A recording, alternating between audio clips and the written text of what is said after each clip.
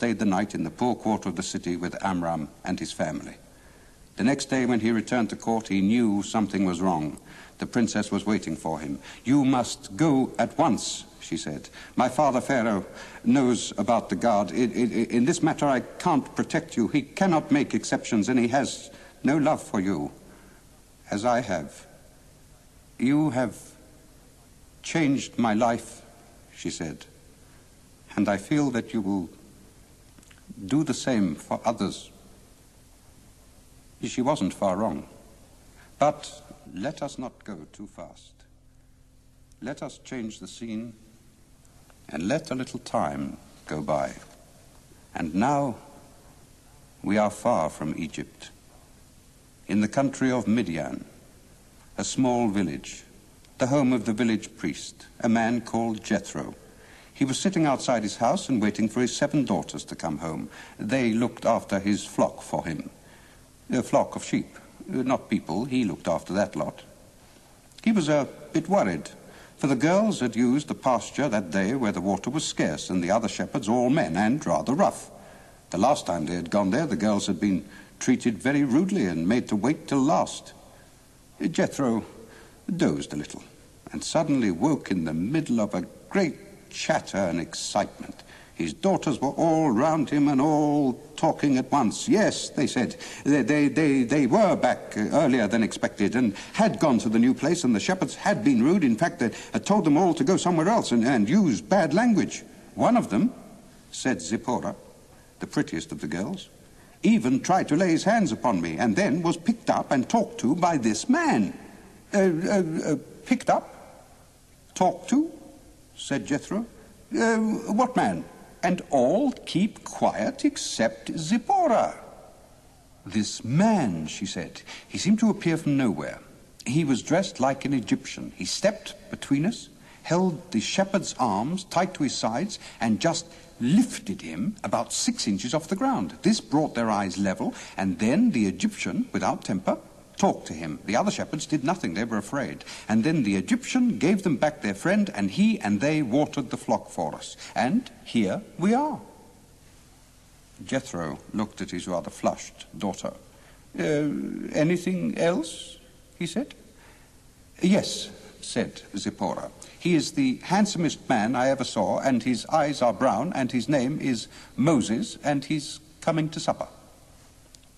And Moses did. Jethro, although proud of his fine bevy of daughters, was very pleased to have another man at his table, and so indeed were the girls. They chattered and told the adventure ten times over, till Moses, who was rather a modest, quiet man, got rather pink. Jethro shooed his daughters off to bed, and he and Moses went out and sat in the garden. Jethro had met very few Egyptians, but felt that this one was far from typical.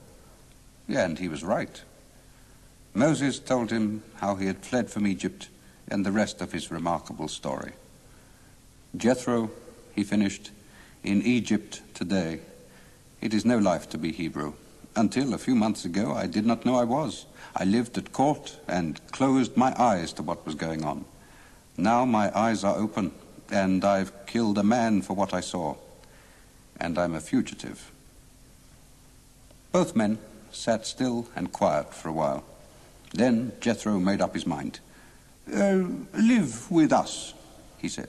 Be my son. Then he remembered how Zipporah had looked at Moses during supper.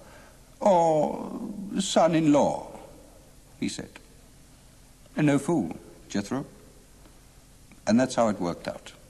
Moses and Zipporah were married and soon had a son and then another. Moses was happy. He liked his wise old father-in-law and his six sisters-in-law. He lived simply. He looked after Jethro's sheep and enjoyed being a shepherd. Often he would go far afield and be away for days. Solitude didn't bother him. On one of these trips, he came to a place called Mount Horeb. As the sheep climbed, Moses followed them. Soon he was high above the plain.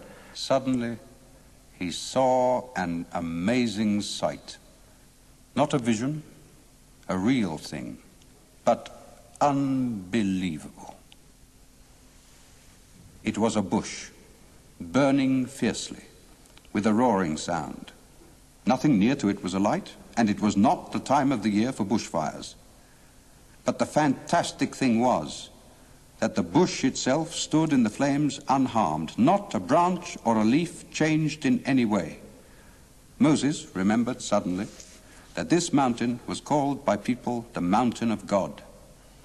As this thought came into his mind, so equally clearly he heard a voice. It spoke from the middle of the flames. It said a rather odd thing. It said, Take off your shoes.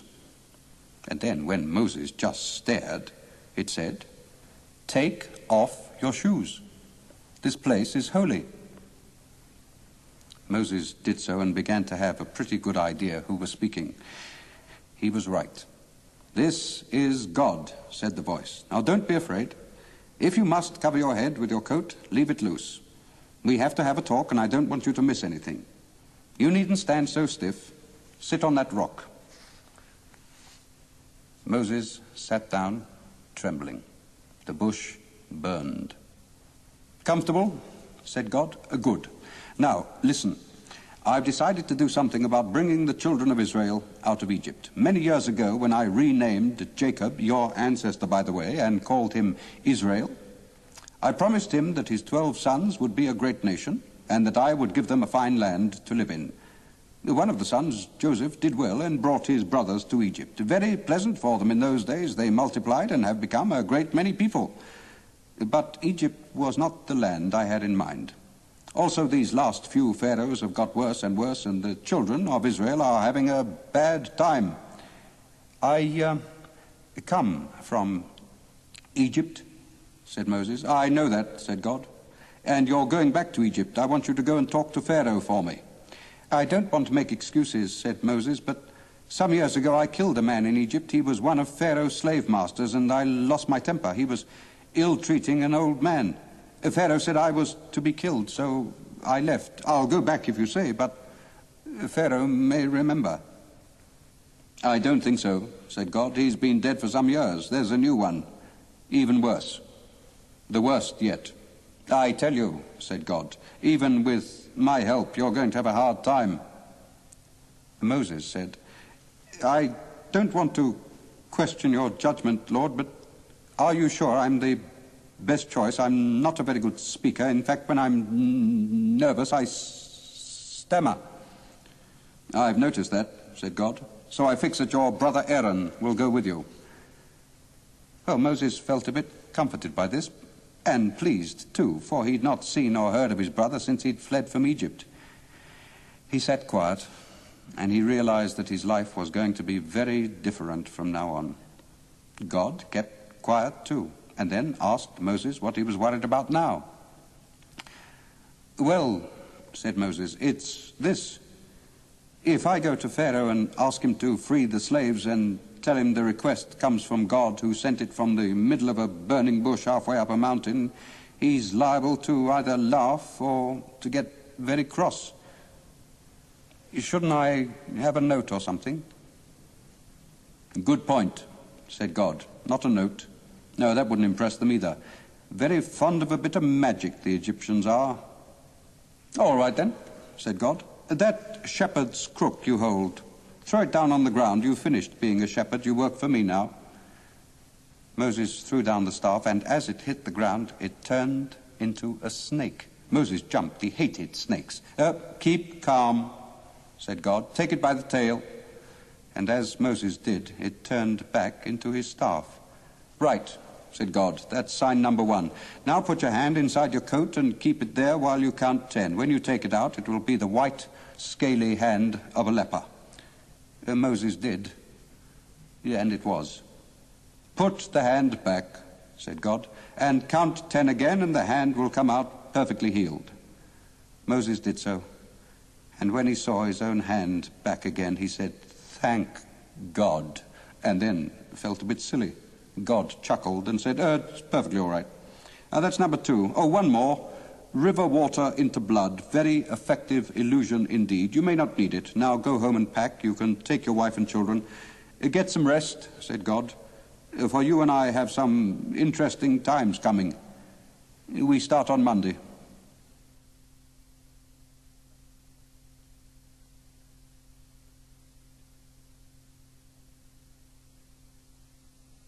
We are back again in Egypt, back in Goshen. Outside a sort of small meeting hall sat two men, rather depressed. One was Moses, and the other was Aaron. I didn't even get a chance to show Pharaoh the magic God gave me, said Moses. Never seen a man in such a temper. He said he'd never heard of my God, and how dare I interfere with all his building work and brick production. What happened then? said Aaron. Well, then he got really nasty, said Moses, and accused me of spreading lies and said that the people must have too much time on their hands. So from then on, the brickmakers would have to find their own straw, but that any decline in output would be punished. And he's cut down the food and increased the hours per week. When was this? said Aaron. About five days ago, said Moses. And since then, the elders of the people have been to see me and told me off for interfering. They say I've just made things worse, and they're right, too. I feel I've done it all wrong. God knows what I should do now. If God knows, said Aaron, perhaps we ought to ask him. So they sat and waited till God spoke, and when he did, Moses told him all about it. Well, cheer up, said God. I told you this job wasn't going to be easy. Oh, go and see Pharaoh again.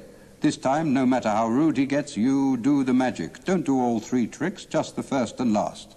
Oh, see how it goes. Well, Moses and Aaron did as God said. They asked for an appointment and, rather to their surprise, got one. The last time, Moses had been thrown out. When they were shown in, Aaron looked around. A fantastic place. He'd heard of the magnificence of the court from Moses, who knew it from his boyhood. But nevertheless, he was amazed and depressed by it too. For everything he saw suggested absolute power and wealth. Every face he looked into was hard and cruel, and many were sneering too. Aaron could see their point. Here were two poorly dressed Hebrews in among all this grandeur and calmly asking for freedom from slavery for a whole people.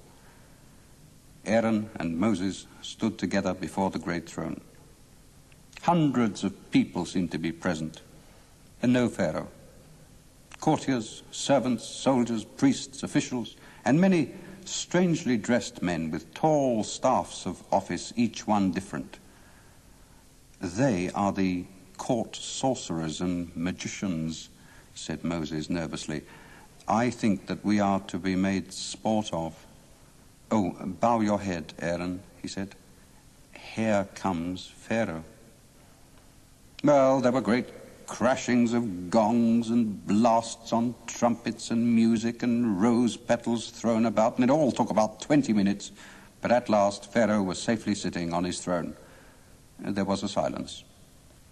Speak, said Pharaoh. Aaron prepared to speak for Moses if his brother's stammer got too bad, but Moses seemed all right.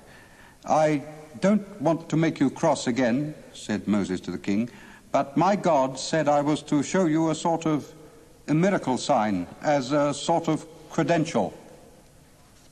Carry on, said Pharaoh. Moses took his shepherd's crook and threw it down on the floor. For one horrible moment he thought it wasn't going to work, and then the staff turned into a wicked looking snake.